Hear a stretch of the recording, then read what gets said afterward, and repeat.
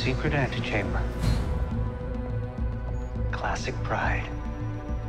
This is now Pride Central Command, where we share everything we learn and keep it off the radar of the cops, the media, and most importantly, Jonah. That's what they want people to believe. Our parents staged this. You want the tape? Here it is. The important thing is, we got what we needed. A tape made by the Hernandezes. Bullet riddled, but I was able to scan it. We've all just watched it. Don't point those at anything living. Especially us! What the hell are these things? It's hard to explain, but we try to warn you.